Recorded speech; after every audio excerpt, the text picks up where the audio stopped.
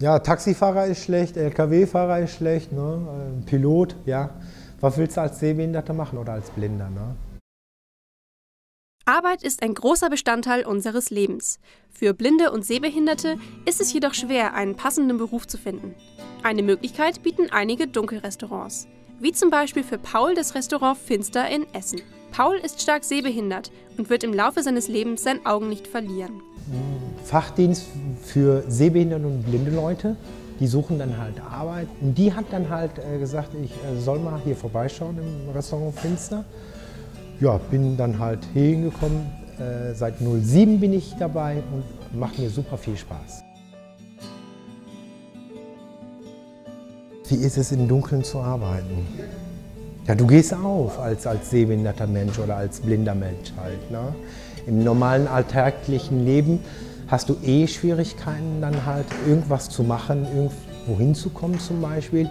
Und hier bist du dann halt so gesehen, in Anführungsstrichen, der Chef. Ne? war meine Welt dann halt, ne? mit den Sinnen, die ich dann halt tagtäglich teilsweise zu tun habe, weil ich sehbehindert bin selber, stark kurzsichtig bin, fiel mir halt äh, sehr leicht zu arbeiten im Dunkeln dann halt. Ne? Doch für die Gäste ist es ungewohnt, sich in absoluter Dunkelheit zu bewegen. Deswegen sind sie auf Hilfe des Kellners angewiesen. In einer Polonaise, ja, ran an die Schulter und mir folgen unauffällig. Ich setze die erstmal hin, platziere die erstmal, zeige denen dann halt die Stuhllehne ne, und erkläre ihnen, dass dann halt äh, direkt äh, vor ihnen dann halt bedeckt ist. Den Rest, den bringen wir ja dann tatsächlich nachhinein dann zu dem Gast, was die dann halt bestellt haben vorne. Im Dunkeln hilft vor allem eine persönliche Kommunikation, um sich wohlzufühlen.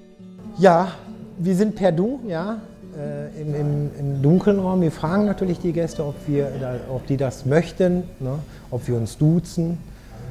Die meisten äh, sagen ja. Ja, die rufen dann halt einfach. Ne? Paul, äh, ich brauche ein Getränk, ne? ich brauche dies, das, genau. Sich in der Finsternis zu orientieren, ist für Paul und seine Kollegen Alltag. Für die Gäste eine ganz besondere Erfahrung. Die sind begeistert. Es war wundervoll, ne, dieses Erlebnis dann halt in die Welt einzutauchen von den Sehbändern und Blinden. Ne, die Küche stimmt dann auch. Ne. Die haben wirklich immer einen wunderschönen Abend, die Gäste. Doch nicht alle können mit dem kurzzeitigen Verlust des Augenlichts umgehen. Ich habe auch in den Jahren jetzt Gäste gehabt, die wirklich dann halt in der Schleuse dann halt geweint hat. Vor Angst, ne? also wahrscheinlich irgendwelche Erinnerungen, schlechte Erfahrungen vielleicht gemacht, Platzangst. Ne? Da hatte natürlich keinen Sinn dann halt. Ich bringe sie raus. Das ist das Beste. Ne? Ich bringe sie dann halt raus. Einreden kannst du das nicht mehr. Ne? Einige müssen aber erst über ihren eigenen Schatten springen. Das hatte ich auch gehabt. Ja. Die, die, sind dann halt die Gäste, die gar nicht gehen wollen. Ne? Ja, die wirklich am Anfang ein bisschen Angst hatten. Redest du denen dann halt ein. Die sind dann auch ein bisschen länger, drei, vier Stunden hier geblieben. Ne? Die haben sich dann auch wohlgefühlt und dann anschließend gesagt, Gott sei Dank, Paul, habe ich das gemacht. Ne? Ich danke dir vielmals, dass du mich trotz allem noch überredet hast und, und ne? war ein toller Abend. Im Endeffekt sollte sich jeder überlegen, ob er eine solche Erfahrung machen möchte. Ja, das ist eine Erfahrung dann halt wert, ne? wie ein Blinder oder ein Sehbehinderter sich tatsächlich fühlt. Das ist äh, wirklich eine Erfahrung wert. Ihr werdet dann auch wirklich äh, schätzen, was ihr da habt überhaupt.